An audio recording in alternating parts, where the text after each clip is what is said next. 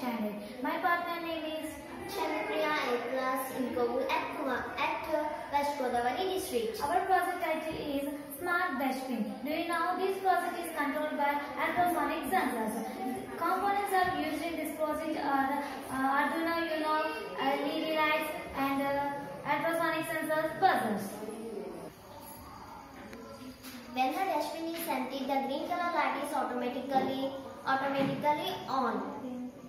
When the dustbin is filled up to 50% of dust, sensors are detected and sent to the controls, uh, and the light is turned to blue.